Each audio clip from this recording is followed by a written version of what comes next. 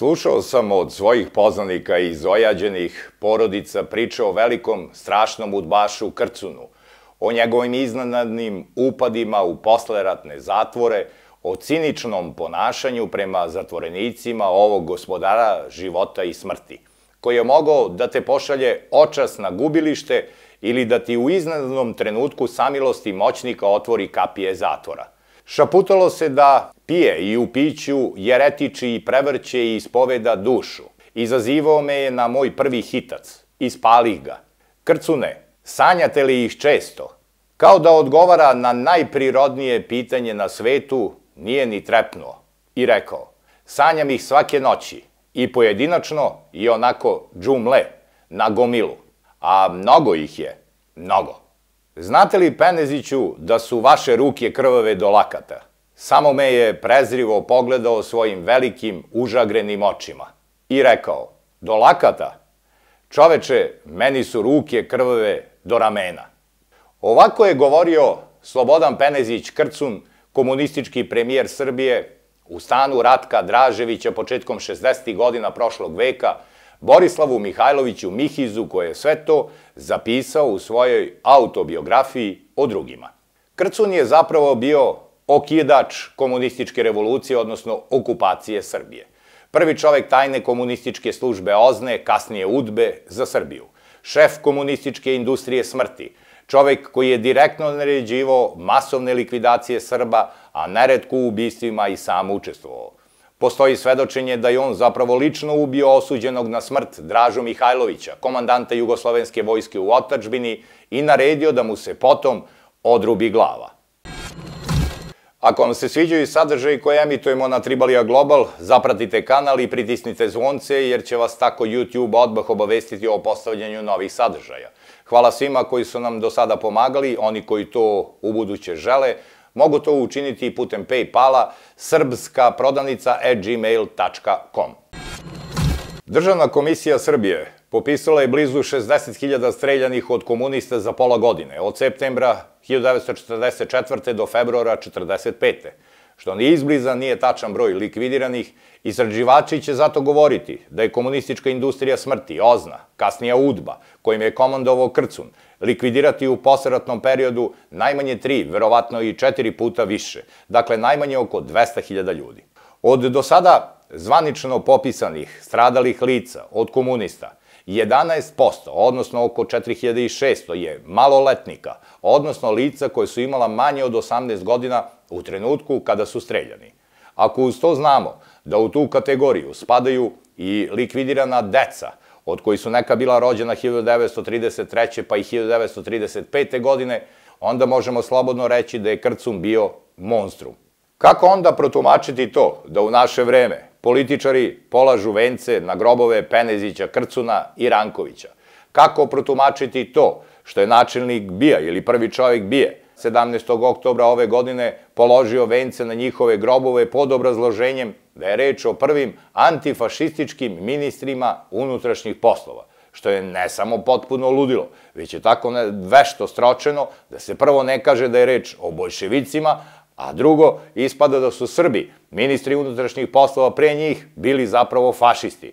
Dalje, kako protumačiti to da se o tom monstrumu Krcunu u naše vreme pišu knjige, što je učinio Arhiv Užica, prirediši dve takve knjige, pri tome najavljujući iste vrlo afirmativno, odnosno kao ispovest znamenite ličnosti iz Užičkog kraja i narodnog heroja. Citirao sam.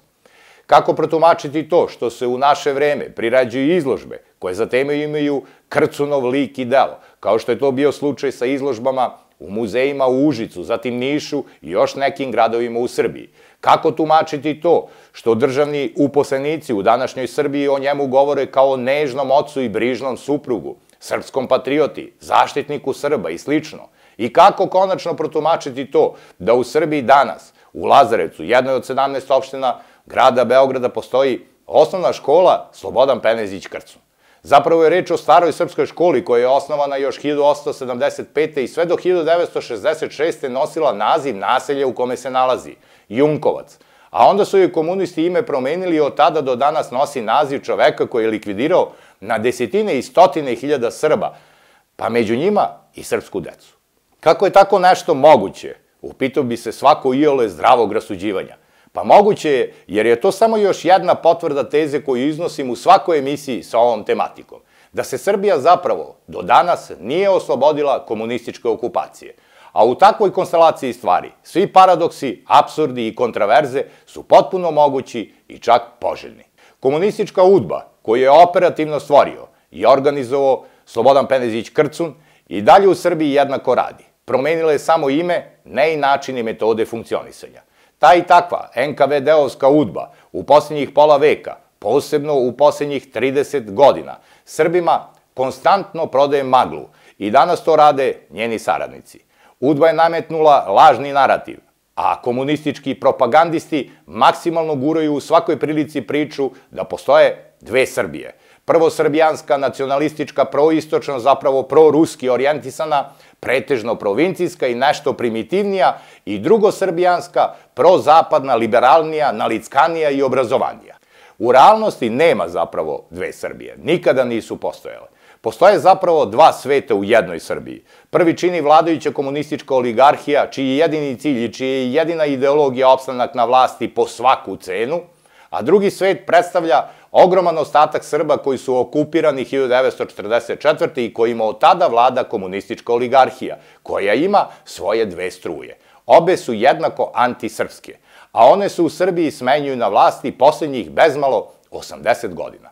Prvosrbijanci, odnosno Krcun Rankovićevci, i drugosrbijanci, odnosno sledbenici Stambolića i Koče Popovića.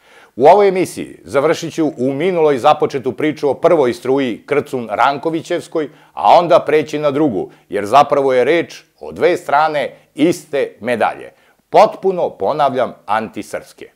Udbaški narativ o postojanju dve Srbije je lansiran komunističkom propagandom kako bi se Srbi okupacijom, terorom, pretnjama, obmanama, neistinama, spinovima i lažnim komunističkim mitovima, te pakovanjem i slaganjem lažne, iako nama vrlo bliske istorije, držali u pokornosti.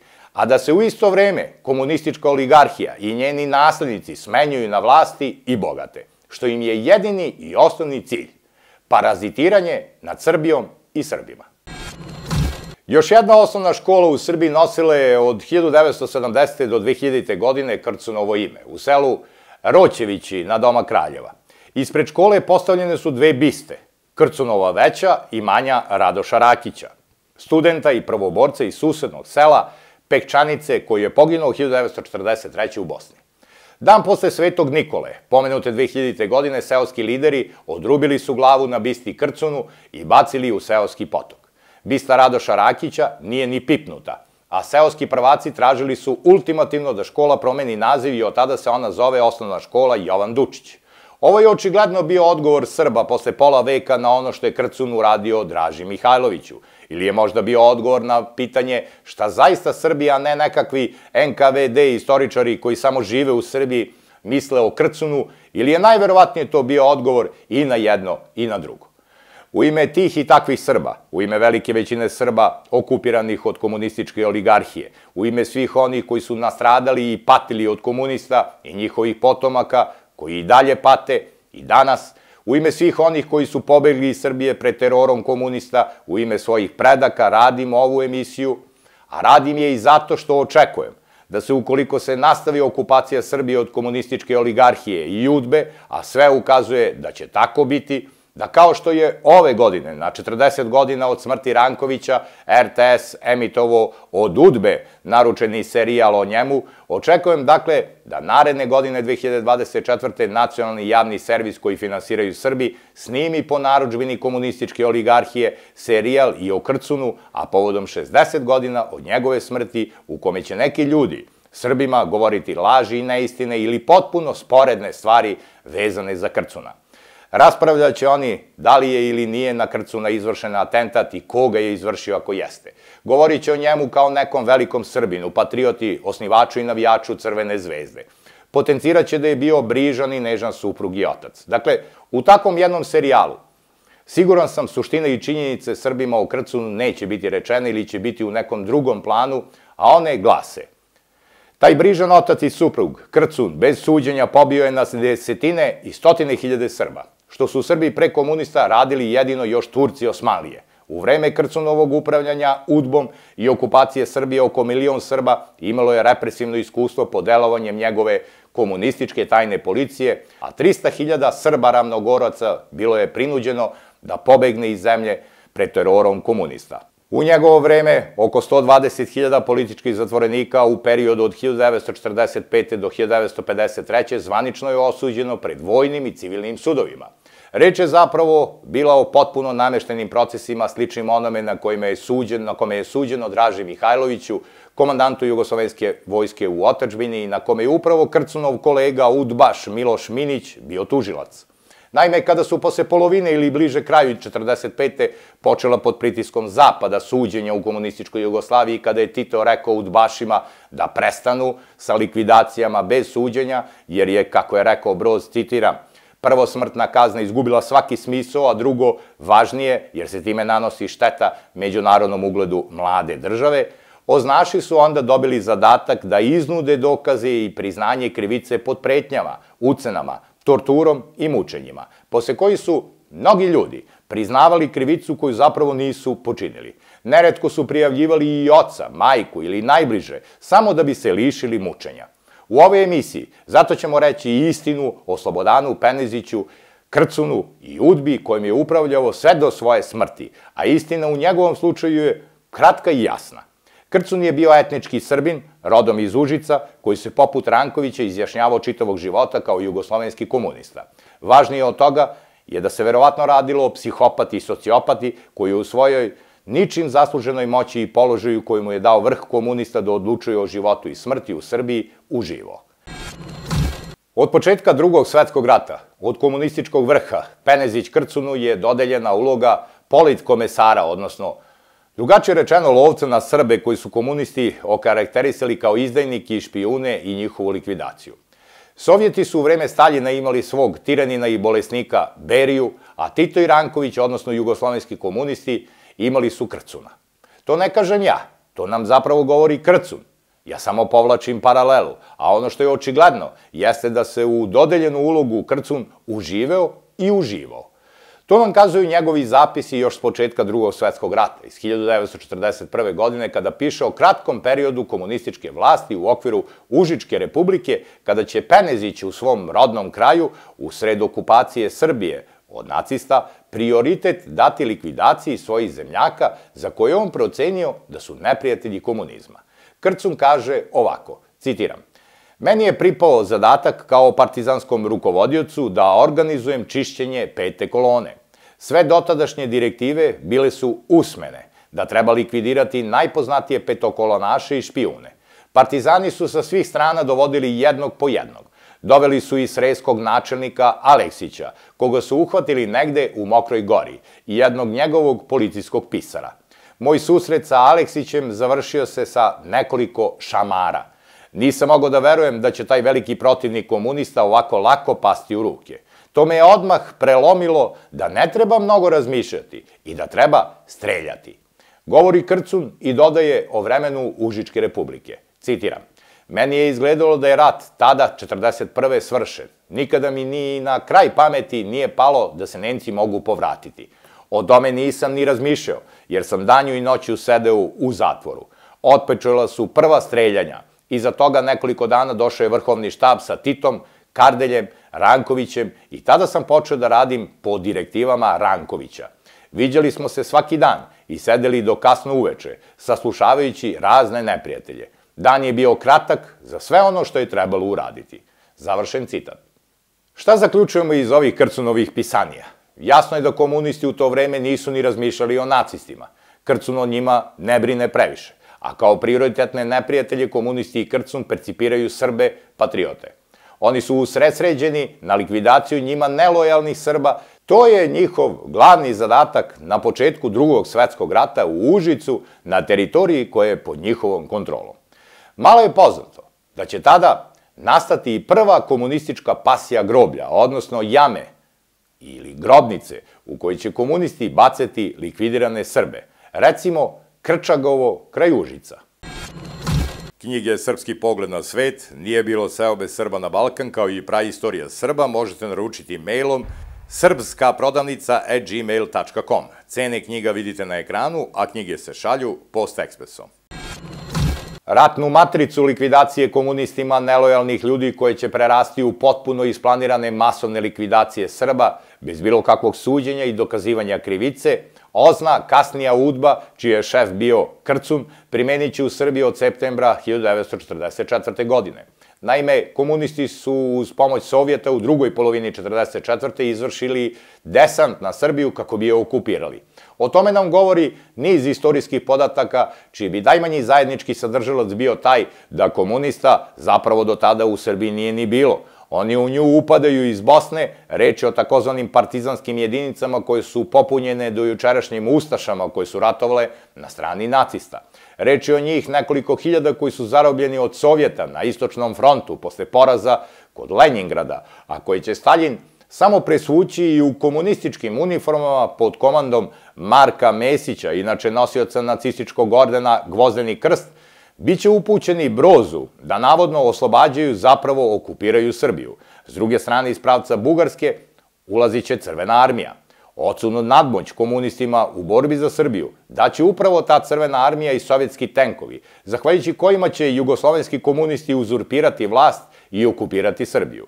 Na kraju, i Krcunovi zapisi govore nam o tome, tačnije da će njega sa tek nekoliko oznaša Sovjeti prebaciti iz Italije u Toplički kraj kao prethodnicu. Krcun o tome kaže sledeće. Za načelnika Ozne, za Srbiju određen sam jula 1944. Odluku o tome saopštena nam je na Visu. S tog ostrva najpre sam sa saradnicima otišao u Bari da bi nas odatle jednim sovjetskim avionom prebacili u Toplicu. Na početku nas je bilo svega 7-8.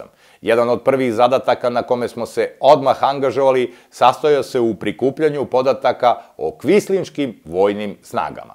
Završen citat. Ozna, buduća udba, ustrojena kao politička policija, potpuno po sovjetskom modelu, vođena je iz jednog centra kojim je upravljao Aleksandar Ranković, a njeno glavno odelenje u Srbiji vodio je Krcun, koji je već do kraja 1944.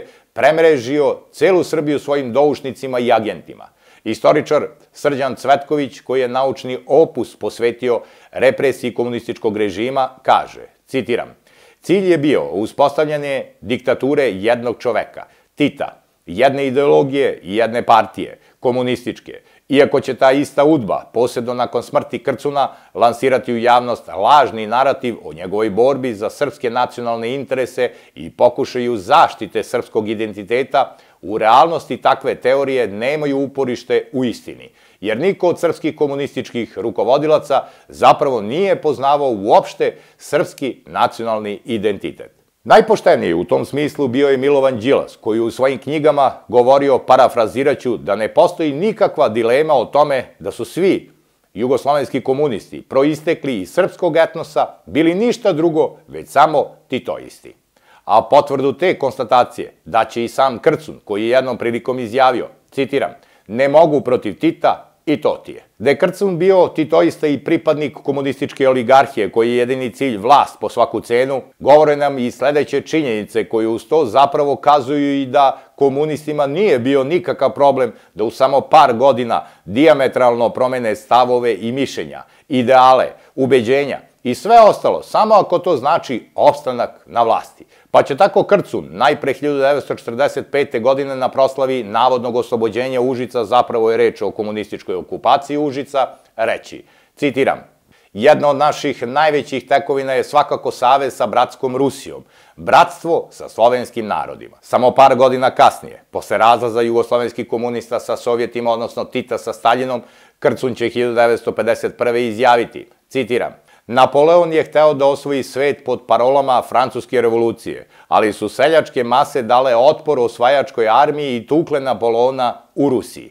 Ista će sudbina zadesiti i sovjetsku armiju ako bi ona pokušala da putem osvajanja, razaranja, nametne svoj ugnjetački jaran drugim narodima pod vidom parole komunizma i ne znam šta sve drugo. Dobro, sve ovo deluje zaista presmešno, ali zamislite vi to licemere, dakle, samo nekoliko godina, pošto su Sovjeti omogućili jugoslavijskim komunistima da okupiraju Srbiju, samo par godina od kada su Sovjeti na sve načine, pa i operativno pomogli stvaranje UDBE, kojim će u Srbiji upravljati Krcu. Samo par godina od kada Krcun naziva Ruse braćom, isti taj Krcun, šef represivnog aparata komunista u Srbiji, preti Crvenoj armiji i Staljinu da će se loše provesti ako pokušaju, citiram još jednom, da putem osvajanja, razaranja, nametnu svoj ugnjetački jaram drugim narodima pod vidom parole komunizma i ne znam šta sve drugo. Sve priče i nekakvi navodno zapisani razgovori izvučeni iz konteksta, ako su se uopšte i desili, a koji navodno govore o Krcunu, kao nekome koji je ispred broza štitio interese Srba, su dakle ništa drugo, nego lepo upakovane priče za Srbe od strane Udbe, koja je bila zapravo kičma represivnog aparata usmerenog pre svega prema Srbima.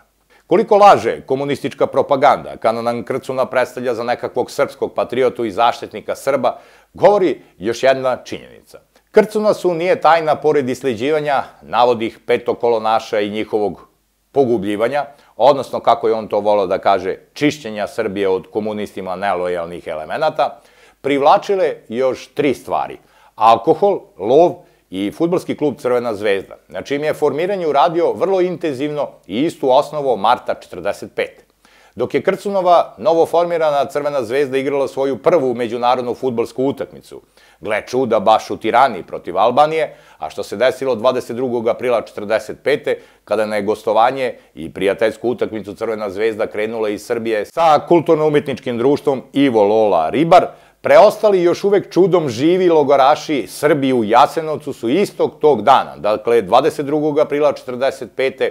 preduzeli poslednji proboj iz logora Jasenovac koji je dalje nesmetano radio u komunističkoj Jugoslaviji. Eto toliko je taj navodni srpski patriota, kako nam ga danas predstavljaju, moćni komunista i u jugoslovenskim okvirima, Krcun, brinuo o Srbima koji su i više od pola godine posle uspostavljanja komunističke vlasti u Jugoslaviji ubijani u Jasenovcu. Da nisu i oni po Krcunovoj proceni petokolonaši i kolaboracionisti, pa ga zato možda nisu interesovali i zato su ostavljeni tamo da ih ubiju. Oznu kasniju udbu, koji je izgradio sa Rankovićem Krcun i kojom je zapravo rukovodio sve do svoje smrti, činili su ljudi iz različitih društvenih slojeva, ali odavni komunisti, laki na obraču i često naklonjeni komunistima i pre rata. Oni su prolazili obuke i bili ozbiljno pripremani za budući posao. Tražilo se da budu konspirativni i da izvršavaju naređenja, a da ne razmišljaju previše. Zato je Ozna prednjačila po teroru i broju streljanih bez suda u odnosu na bilo koju drugu zemlju u Evropi posle drugog svetskog rata. Deviza je bila, citiraću, ko ne može ubiti neprijatelja, ne može biti ni pravi komunista. Tako je komunistički funkcioner i udbaš Vojislav Kosovac 22. decembra 1944. uputio izveštaj Okružnom komitetu za Mladenovac, izražavajući nadu da će se likvidacije nastaviti i da će postati još masovnije pripadnik Rankovićevske komunističke struje Draža Marković, koji će posle Stambolića i Koča Popovića biti jedan od visokih komunističkih funkcionera Srbije i Jugoslavije u periodu od 69. do 84. i strit supruge Slobodana Miloševića Mirjane Marković reći će, citiram, i na smrt i na ubijanje se čovek navikne. To postane svakodnevica, profesija, tako reći. Zakoni rata su surovi, ili ti mene ili ja tebe. I po toj logici sve je dozvoljeno i sve se može pravdati. Eto tako lako Draža Marković opravda četvrt miliona žrtava poseratne komunističke okupacije Srbije. Jednostavno je. Na sve se čovjek navikne. Kako reče, to postane svakodnevnica, profesija tako reći. I zaista udbaši koji je izabrao Krcem bili su profesionalne ubice i mučitelji. Budući da ćemo Ozni, kasnije i Udbi, potom SDB-u uraditi uskoro posebnu emisiju, ovde ću kratko reći da je od osnivanja na način i principe rada OZNE presudno uticala sovjetska služba NKVD. Oficiri OZNE su se školovali na akademijama NKVD-a i Kominterne u Moskvi, pa su zatim oni obučavali mlađe kolegije u Srbiji, prenoseći iskustvo iz Sovjetskog saveza.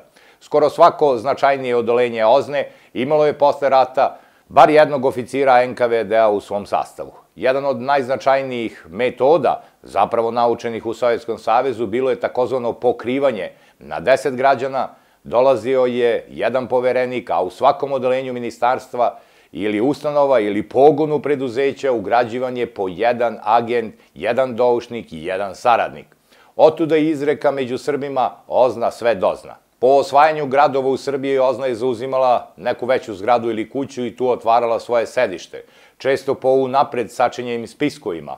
Odmah su kretala hapšenja i sleđivanja uz torturu, koje se završavaju po pravilu tajnim streljanjima u skoro obavezno sakrivanje tragova, ali i pažljivo vođenje evidencije o žrtvama, kako bi Ozna, kasnije Udba, obratila i u narednom periodu pažnju na članove porodica i potomke streljanih a za koje se smatralo da mogu predstavljati pretnju za komuniste.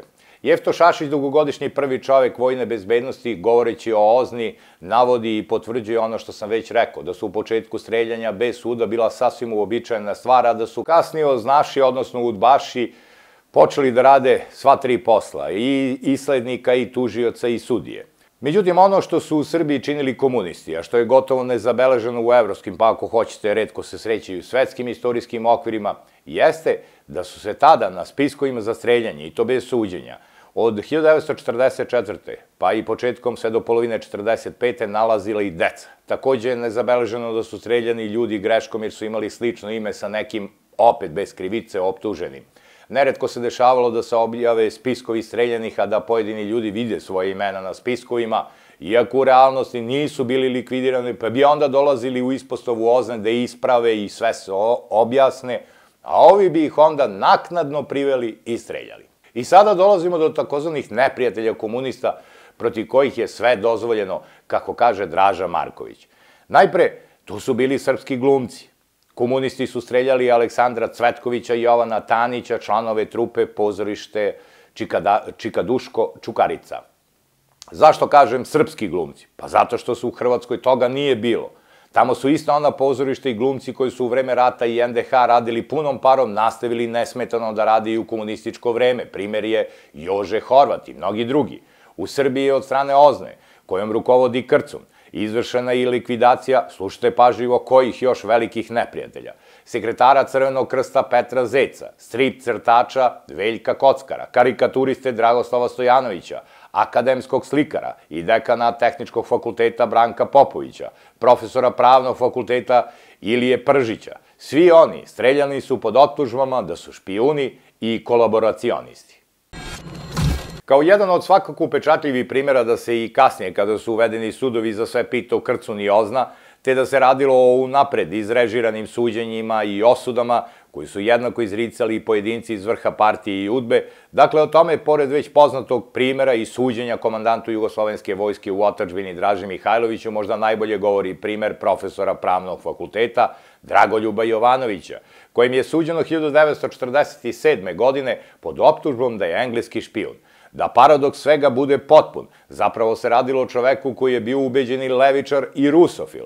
Pre rata je zbog toga bio na robiji tri godine, a kada su komunisti zagospodarili Srbijom, osuđen je na devet godina i izbačen je iz svoje partije i sa fakulteta samo zato što se pobunio protiv izbornih uslova na izborima u kojima je učestvovao kao koalicioni partner komunista. Krivica profesora Jovanovića, po mišljenju komunista, bila je u tome što je ustao u odbranu demokratskih prava i kritikovao zakon o javnim tužiocima, zakon o kolektivizaciji sela i zakon o delovanju tajne policije, smatrajući da su joj 1946. data prevelika ovlašćenja. Jovanovića su onda preuzeli da ga, kako se tadašnjim rečnikom govorilo, obrađuju udbaši, ali i pored svega bilo je teško naći krivicu, jer su mu karijera i život izgleda bili potpuno besprekorni.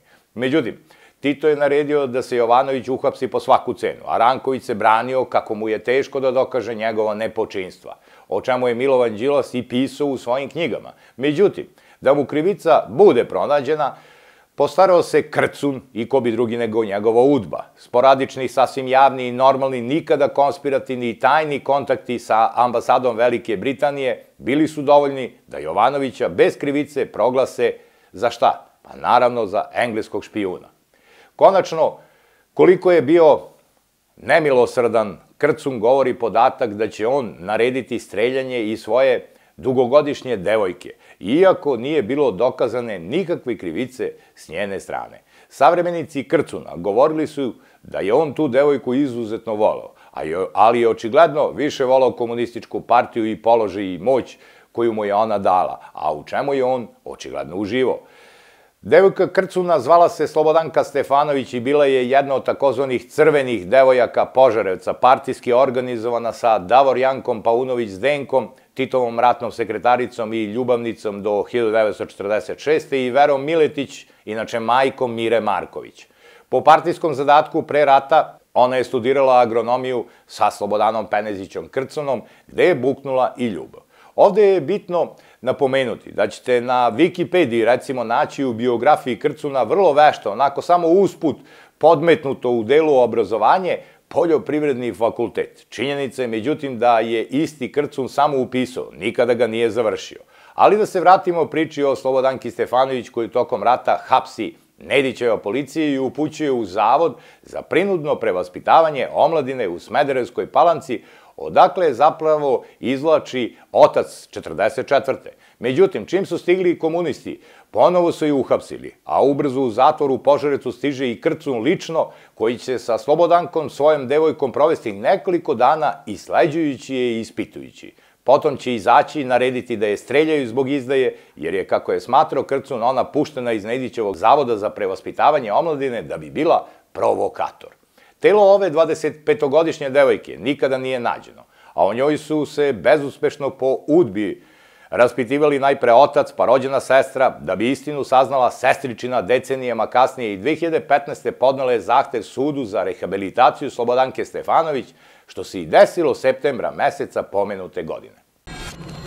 Na kraju ove emisije treba reći da na društvenim mrežama danas imamo prilike neretko da pročitamo statuse ili postove u kojima se tvrdi malo, malo kako je vreme komunizma u Srbiji zapravo bilo jedno sjajno vreme, gde su se svi osjećali super i svi su bili bezbedni, gde su samo razmišljali gde će se na more i gde je policija zapravo pokrivala one koji bi zaspali na klupi. Budući da sam rođen u komunizmu i Boga mi u njemu živo, da ne kažem da i sada živim i kako stvari stoje, izgleda da ću i umreti u komunizmu, ali svakako, što se tih mladalačkih dana tiče, ja stvarno ne mogu da se setim da smo ikada, ja ili neko od mojih prijatelja, spavali na klupi. Svojevremeno je Aca Šargić u nekoj od naših emisija vrlo lepo rekao da su na klupi spavali verovatno samo oni koji nisu imali kuću. A što se svega ostalog tiče, da, tako je, bilo je potpuno bezbedno i bezbrižno vreme, jer o svemu su brinuli komunisti. Tako da je, recimo, Krcon odlučivo ko će da živi, a ko da umre. On je odlučivo ko će da napreduje u službi, a ko nije baš podovan, pa će je i on i potomci biti prinuđeni da idu iz Srbije. Krcun je odlučivo i o tome da li će Šekularac biti prodat kako bi se napravio stadion koji se dugo zvao Marakana, a danas je to Rajko Mitić. Jednostavno, Krcun je mislio odlučivo o svemu.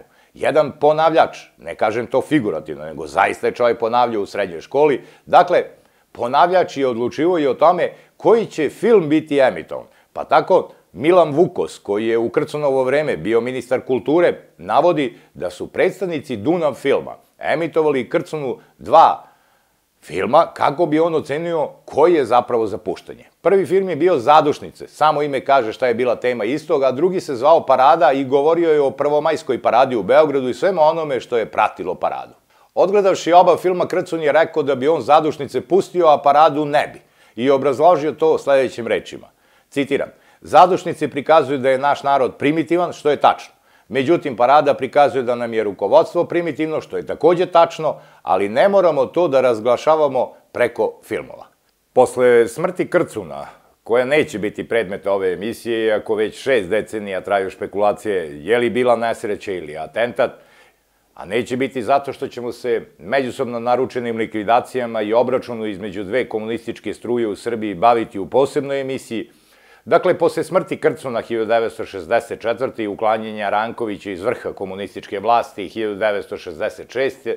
a reč je o ljudima koji su upravljali udbom i osnovali Crvenu zvezdu, Titovu štafetu na srpskom komunističkom nebu preuzeće druga komunistička struja u Srbiji, Partizanovci, oličan Petru Stamboliću i Koči Popoviću, funkcioneru futbolskog kluba Partizan, koje će vladati do 1970. kada će se povratiti na vlast i ponovo uspostaviti prvosrbijanska komunistička struja Krcun Rankovićevska, oličena u nekadašnjem udbašu Dobrivoju Vidiću, koji se istakao tako što je najpre u Užicu sprovodio represivnu politiku, a u Vojvodini bio glavni u akciji prinudnog otkupa. vidit će zajedno sa Živanom Vasiljevićem i Dražom Markovićem po padu liberalne komunističke opcije u Srbiji ušao u partijski vrh kao stari oznaš koji je važio za čvrstu ruku i rukovodit će Srbijom od 78. do 82. Biće čak i predsednik Srbije i tako će se sve do danas te dve komunističke struje, Krcun Rankovićevska i Stambolić Popovićevska, smenjivati na vlasti u Srbiji. Knjige Aleksandra Šargića promenile su pogled na srpsku istoriju i etnologiju. Knjige Nije bilo seobe Srba na Balkan, Srpski pogled na svet i praistorija Srba pružaju niz kritičkih dokaza koji pobijaju laži o našem poreklu, starosti srpskog jezika i običaja i daju realnu sliku istorijskih izvora umesto nametnute paradigme o narodu bez korena. Knjige se naručuju putem maila srpska prodavnica at gmail.com Cene knjiga možete vidjeti na vašim ekranima, a na mail je potrebno poslati ime, prezime, adresu, grad i kontakt telefon, jer se knjige šalju post ekspresom.